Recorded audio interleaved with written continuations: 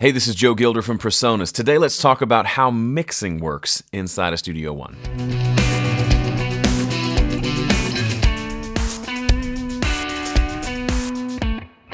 Okay, the purpose of this video is to show you the different specific features in Studio One that I like to use when I'm mixing.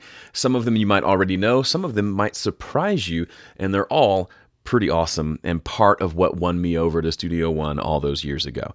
So here is Studio One. We hit F3 to bring up our console or our mixer. Now, a couple of things just in setting things up that I want to show you. First of all, when you first open Studio One, let's say you've you've been away for a while, or maybe you're just thinking about switching, and you open up your console by hitting F3 or by pressing this little mix button right down here, uh, you may it may look like this. So it's it's familiar, right? We got faders down here. We can pan things left and right. We have all of our mute and solo buttons. Uh, and then up here towards the top is where our plugins go, or inserts as we call them in Studio One.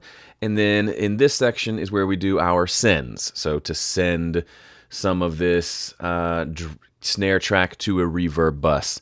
Over here on the right hand side, these are my effects that I have set up in this session. These are effects returns, so I can send from any channel and it'll come through these. You'll notice the difference between effects and buses. This purple track is a bus. These white tracks are effects returns. The only difference is these only have plugins, inserts, but they don't have a send on them, and buses do. Main reason for that is you typically aren't taking your reverb and then sending that to another effect.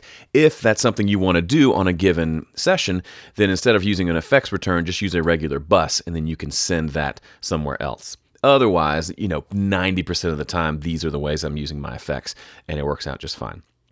A bus is looks just like an audio track. The only difference is it has a blue fader and it has this little bus symbol on the bottom right hand side of the channel. Every channel has this little identifying icon here. This means it's an audio track that looks like a piece of audio. This is a bus. You can see it's three different things being routed to one or a backwards capital E, and then these are effects marked by the clever FX symbol. This thing right here, by the way, it opens up this window that allows you to assign these knobs to specific parameters in the plugins there. I never use that, but people ask me sometimes what that means. That's what that means. Now, a couple of things, in my opinion, are missing from this setup that would pr prove really useful to you during mixing. The first, we can't see our inputs and outputs on a given channel. Normally, right above the panner, we can see where what the inputs and outputs are. Well, the easiest way to show those is just to put your mouse right here, click and drag this up until they appear. So basically, since we can move and resize everything in Studio One, sometimes it will hide things so that we can see them, so that we can get, you know, assuming this is something we don't need to see, it goes away. But if you need to see it, you can pull it up. And now I can see that all these tracks, their inputs are input five and six. That's not that helpful for recording, but the out, or for mixing, but the outputs are all going to my drums bus, which is right here, okay? Another thing you might find is your session might look like this and I can see my inserts and plugins, but I can't see my sends. Where are they? So you think, well, maybe I make this taller. They're still not there. It's the same process. You hover your mouse right here, click and drag up. There are your sends. Click and drag up again. Now you can see your inputs and outputs. So they can all be hidden or brought back pretty easily. Now you can also show those over here. So I can hit this IO connection button, and if I select it that way, then my inputs and outputs will never be shown, no matter how tall it is. I tend to leave that on because sometimes you just want to quickly look and see where things are going. And it doesn't take up that much screen real estate. Um, you can also tell it to turn off your sends view if you just never want to see them. I like to have them both on there. Here is a setting though. It's somewhat new to Studio One as of 4 point something, maybe 4.6. I think it's actually been around a little longer than that. And it's these input controls. Now look what happens when I click on this. I get a couple of new settings up here, the main one being this trim knob. So this allows me to adjust the volume going into this channel and also flip the polarity going into this channel as well. In the past, if I wanted to adjust just the volume of the raw audio of this clap track, I would have to do one of two things. First, I would have to come in here and adjust it with the clip gain here which isn't a real problem, but sometimes when you pull it down really far, it gives you this line in the middle and it doesn't look as clean. So maybe you want to leave it where it is and adjust the volume down here. You can do that here and you don't take up it doesn't take up much screen real estate, and you can do that without having to come in here and do it on the arranger window. The other way I would have to do it is by inserting something like the Mix Tool plugin, which for years has been a really handy tool that I've used all the time. All it gives us is a volume knob and then the ability to invert polarity and do a few other things. But that's mainly what I've used it for is to just increase or decrease the volume at the beginning of a channel. Well, now I don't use Mix Tool nearly as much because we've added that at the top of every channel, much like the trim knob at the top of a mixer. When you're sitting in front, the fader's at the bottom, the knob at the very top is your gain coming into that channel. This behaves the same way. Now, this isn't your preamp volume okay? There's actually a separate thing. This is kind of getting off the rails, but if we set click on audio device controls here, then if you have an interface that supports this, like right now I'm plugged into my uh, Presonus Studio Live mixer, I can actually adjust a bunch of settings on the mixer itself. So for example, on this kick track, I can adjust the preamp gain going into it. Um, it, it moved all of them because these are all set to the same set of inputs. But if I if I set this to a different input on my mixer, channel 15. Now I'm actually adjusting the preamp volume on my mixer. It's controllable uh, over the network, which is cool. I can turn phantom power on and off, and I can flip the polarity on that channel. That's specifically hardware, okay? I don't usually have that in view because I typically just do that on the device itself.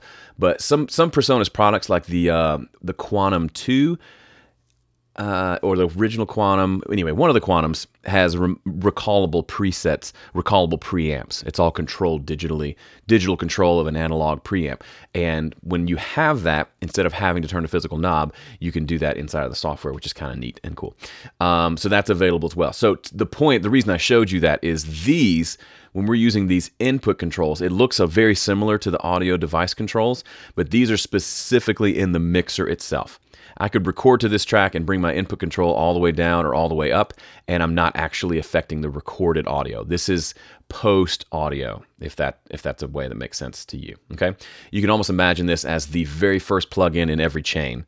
Um, it can't be moved; it's just right there, and then your plugins come after that. Okay. All right. So the other big thing, and people have asked me about this. I did a video, but I'll show it really quickly. Um, when you play music in Studio One, everything defaults to coming through your main output, which is always right here on the right-hand side of the mixer. As I scroll through the session, this actually stays visible, which is really cool. Um, and it has its own meter, so we can see right here um, the level of our main mix. Now, if I right-click on this meter or any meter inside of Studio One, I can change the way it works. This is the peak RMS meter, which is what you're probably used to seeing. The blue shows me the peaks. The white there shows me the average or RMS volume. That's somewhat helpful, but I prefer to mix using the K-System meters, which are built right into Studio One. So when I'm mixing, I set it to K20. And the goal there is to have the volume staying in the green and crossing over into the yellow uh, on most of the song and then getting up into the red for the louder parts. If I turn up this drum bus, you can see it's going into the yellow and now into the red. Super handy and it's right there, doesn't take up a lot of screen real estate, but it can be easy to ignore in a session and you may not look down here. That's why lately what I've been doing is I've set up this big honking meter over here. Now the way to do that is super simple. I've got a level meter plugin. So Studio One comes with a level meter plugin. When you first put it on a track, it looks like this, which is very different from that. Well, the cool thing about this is it can be resized. So I can make it horizontal. You could put this across the bottom of your screen if you wanted. Or if you're an old school like me and you just want a vertical fader, uh, a vertical meter, you can do it this way. So Oops, I just adjusted something I didn't mean to. So now um, it's looking similar to what I have here on the right.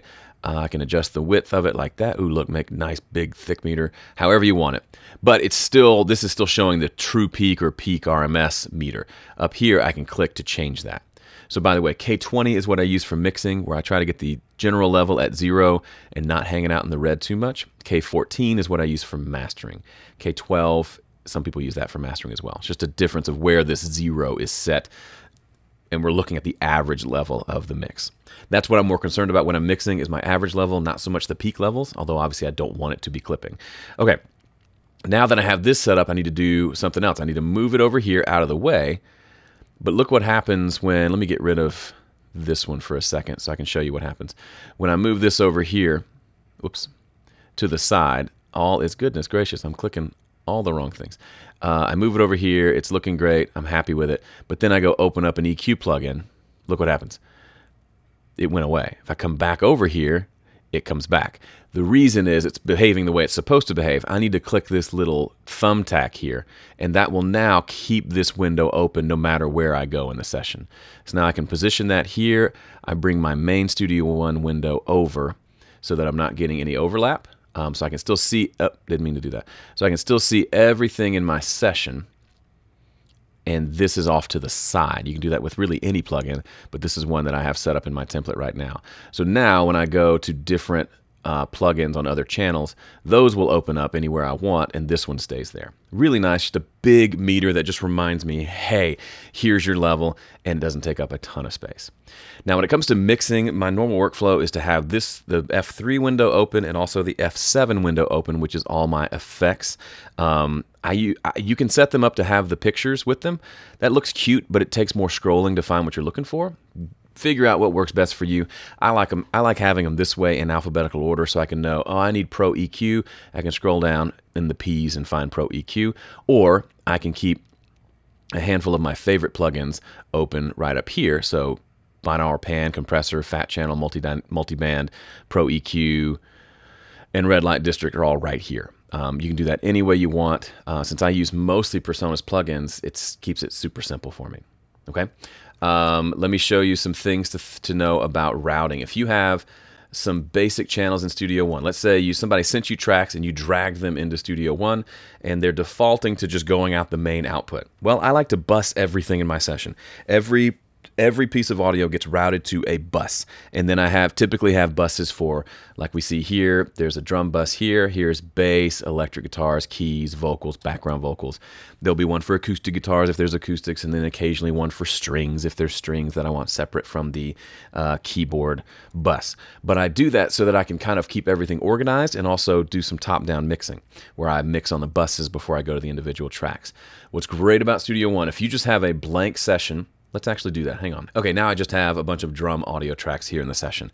In a lot of other systems, if I want to route these to a drum bus, I've got to create that bus first. Like we can right click and add a bus channel. And then I come in here and I route all of these to that bus and then I name the bus. You actually don't have to do that in Studio One. It's super simple. I just select all of these.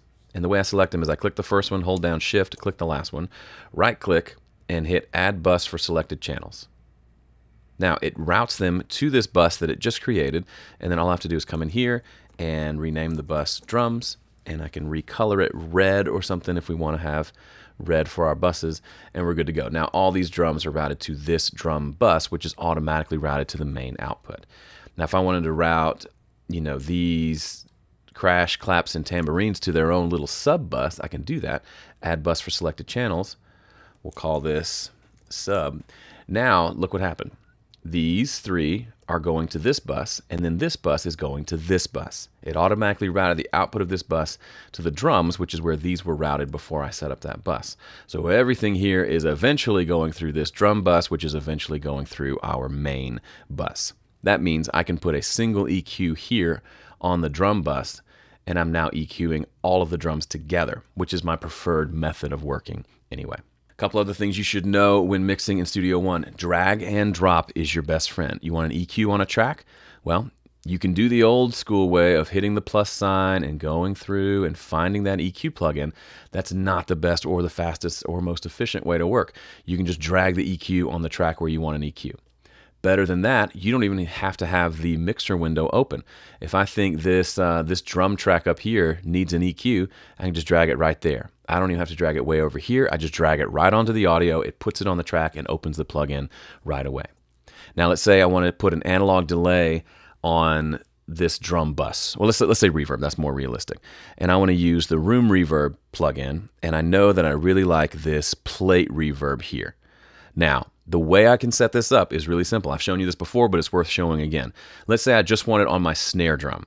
I drag this plate reverb, okay, and I put it drop it onto the send section of this snare track. And then look what happens. A couple of things happened. It opened up the plugin, which you would probably expect, but it also created this room reverb effects channel and it created a send on this snare drum to send to that effects channel. It did all of that and pulled up that particular flat plate preset that we wanted, did all of that with one drag and drop.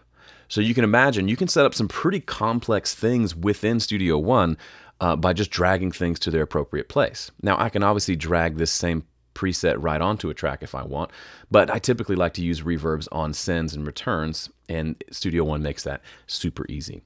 Okay, one advanced thing I want to show you. I'm not going to dive in too far into this, but it's worth knowing. Let's say you like to do parallel processing on your drums, okay? And you've got, we'll just use the regular compressor, but let's say any compressor plugin you have, and you want to do the thing where it's called parallel processing, where you're compressing the drums really heavily, but then you also have a copy of the drums that aren't being compressed. So you have the dry drums and the compressed drums. In the past, the way you would have to do that is something like this, where you can drag the compressor onto the send, and now it'll create a compressor track that is being sent from the drum track, and then you can blend between the two. And so you have a fader for the compressed track or the parallel track, and then you have a fader for the dry track. That's fine, nothing wrong with that. Um, and if you like working that way, great. But there's a way you can do all of that on the individual track itself. So we just bring a compressor plug in here, open it up. There we go. Um, now click on this little, uh, what would we call it, the routing button right up here on the top left. It's kind of hidden, somewhat of an unknown feature.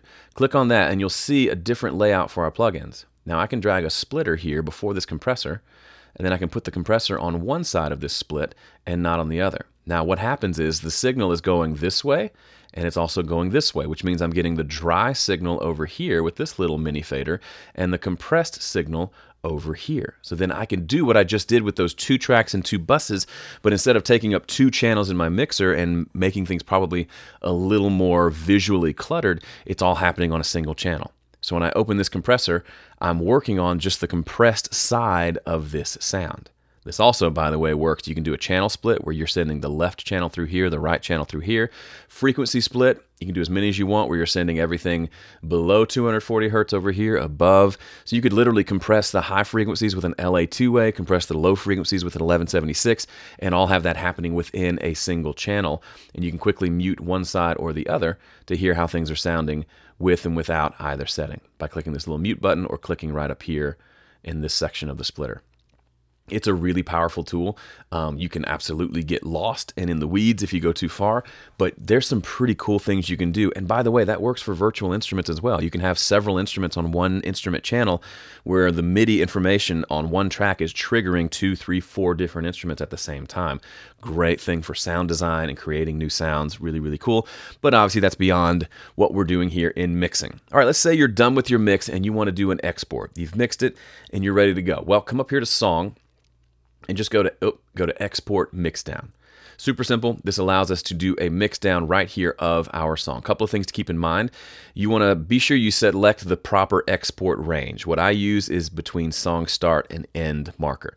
If that doesn't sound familiar to you, come up here into the arrange window and make sure you open the marker track. And now you'll see there's a start marker that's always there all these white markers I've created, and there's an end marker. And you can move these to the beginnings and ends of your song. And then when you go to export, which you can access by hitting Command E or Control E on a PC, I can select export the range between the song start and end marker. There's a few other options, but that's the one I use. Uh, we can name the, name the song. We can choose where it's going to go. We can publish it to SoundCloud if we want to, uh, which I don't use almost ever. And we can also change the format. Maybe we want a proper WAV file, keep it 24-bit WAV, great. Maybe we just want to go MP3. I mean, there's a lot of options. And we can choose real-time processing, where it'll bounce it in real time, or we can do offline. We can even bypass master effects and, and do lots of other things in here. Once you hit OK, it begins the export and drops the file where you want it and that's that's it. If you never need to use the project page for mastering, where that um, that mix now goes to your project page, if you just want to export this right from here, that's how you do it. If you're wanting to put it into the project section, then you'll add it to a project or create a new project from this song, and then hit update mastering file, and it will immediately update that in the project page, which I've talked about in another video, uh, so we're not going to cover that here. All right, those are some of the kind of big picture mixing basics, the way to get around a session inside of Studio One. There's plenty more that I haven't covered, but the great thing about Studio One is sometimes if you're not sure what something does, you can just hover over it and it'll tell you. And it usually gives you a whole lot of information, which is super great. So explore, have fun, set it up a way in a way that works for you, and happy mixing. If you like this video, please be sure to like it. Leave a comment if you have a question or a comment, or just want to say, "Hey, Joe, good to see you." Uh, and also subscribe to our channel because between Gregor and myself, plus the amazing video team at PreSonus, we have a lot of good stuff coming at you, and I don't want you to miss out. So make sure you are subscribed. As always, thanks for watching. I'll see you in the next one.